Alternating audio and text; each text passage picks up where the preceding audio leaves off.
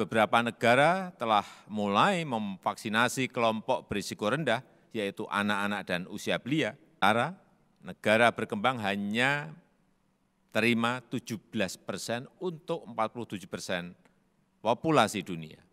No one is safe until everyone is. Saat ini tantangan akses vaksin yang adil dan merata bagi semua masih sangat besar seperti masalah supply, pendanaan, dan keengganan terhadap vaksin. Untuk itu, kita harus melakukan langkah-langkah nyata, yaitu